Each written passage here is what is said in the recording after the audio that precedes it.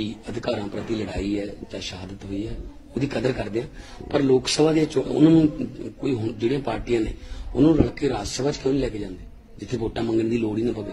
ਰਾਜ ਸਭਾ ਬਣਾਈ ਇਹੋ ਜਿਹੇ ਲੋਕਾਂ ਲਈ ਹੈ, ਜਿਨ੍ਹਾਂ ਨੇ ਕੋਈ ਕੁਰਬਾਨੀਆਂ ਕੀਤੀਆਂ, ਜਿਨ੍ਹਾਂ ਨੇ ਕੋਈ ਦੇਸ਼ ਦਾ ਨਾਮ ਉੱਚਾ ਕੀਤਾ, ਪਰ ਉਹ ਜਿਹੜੀ ਐਕਟਿਵ ਪੋਲਿਟਿਕਸ ਦੇ ਵਿੱਚ ਨਹੀਂ ਜਾ ਸਕਦੇ। ਵੋਟਾਂ ਮੰਗਣ ਦਾ ਕੰਮ ਨਹੀਂ ਉਹ ਕਰ ਸਕਦੇ। ਤਾਂ ਉੱਥੇ ਰਾਜ ਸਭਾ ਚ ਉਹਨਾਂ ਦੀ ਖਾਲੜਾ ਮੈਡਮ ਜਿਹੜੇ ਨੇ, ਬੀਬੀ ਖਾਲੜਾ ਜੀ ਉਹਨਾਂ ਦੇ ਪਰਿਵਾਰ ਦੀ ਜਿਹੜੀ ਮਨੁੱਖੀ ਅਧਿਕਾਰਾਂ ਪ੍ਰਤੀ ਲੜਾਈ ਹੈ ਜਾਂ ਸ਼ਹਾਦਤ ਹੋਈ ਹੈ, ਉਹਦੀ ਕਦਰ ਕਰਦੇ ਆ।